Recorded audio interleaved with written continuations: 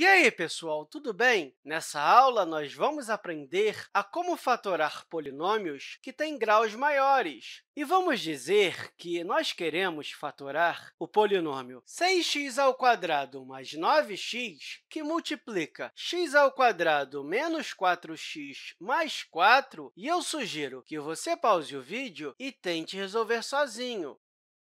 Vamos lá, então. Lembre-se que fatorar uma expressão é transformar uma soma ou uma subtração em um produto. E, se você olhar, essa expressão já está um pouco fatorada, né? Ela é um produto de dois polinômios, mas ainda podemos fatorar mais. E como vamos fazer isso? Vamos começar olhando para esse x ao quadrado mais 9x. Note que tanto x ao quadrado quanto x é divisível por x. E tanto 6 quanto 9 é divisível por 3. Portanto, podemos colocar um 3x em evidência, e aí temos que nos perguntar o seguinte, 3x vezes quanto que vai dar 6x ao quadrado? 2x. E 3x vezes quanto que vai dar 9x? 3. Então, colocamos mais 3 aqui, e se você aplicar a distributiva, você chega nessa expressão aqui. E essa segunda expressão, como podemos fatorá-la? Preste bem atenção. Isso aqui é um quadrado perfeito, o que significa que você pode reescrever como x menos 2, que multiplica x menos 2, ou x menos 2 ao quadrado, tanto faz. Ou seja, isso aqui é um produto notável que dá esse resultado. É só você ver. Aqui nós temos o quadrado do primeiro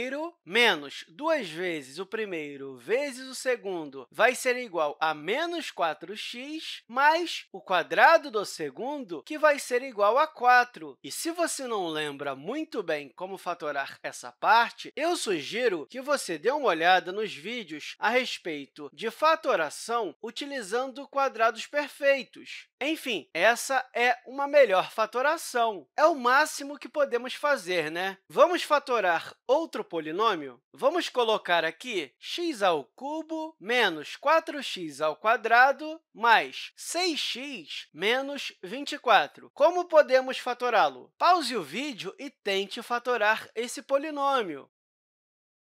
Essa aqui é uma fatoração que chamamos de agrupamento, e a melhor maneira de fazer isso é fatorar por partes. Como assim? Primeiro, olhe para esse x ao cubo menos 4x ao quadrado e note que tanto x ao cubo quanto 4x ao quadrado são divisíveis por x ao quadrado. Então, é esse x ao quadrado que eu posso colocar em evidência. E para dar essa expressão, devemos multiplicá-lo por x menos 4. É só você aplicar a distributiva que você vai chegar na mesma expressão. Agora, essa segunda segunda parte, será que você consegue identificar um divisor comum de 6x e de menos 24? O 2 é um divisor comum de 6 e de menos 24, mas o ideal é você procurar o maior divisor comum, que, nesse caso, é o 6 e multiplicamos ele por x menos 4, e se você aplicar a distributiva, você chega nessa expressão. E olhando para essa soma, você consegue identificar algum termo que é comum tanto a essa expressão quanto a essa? Esse x menos 4, né? Tem ele aqui e tem aqui também. Por isso, ele é o termo que vamos colocar em evidência. E x menos 4 está multiplicando x ao quadrado e também está multiplicando o 6. Pronto! Finalmente fatoramos essa expressão. E eu espero que essa aula tenha te ajudado e até a próxima, pessoal!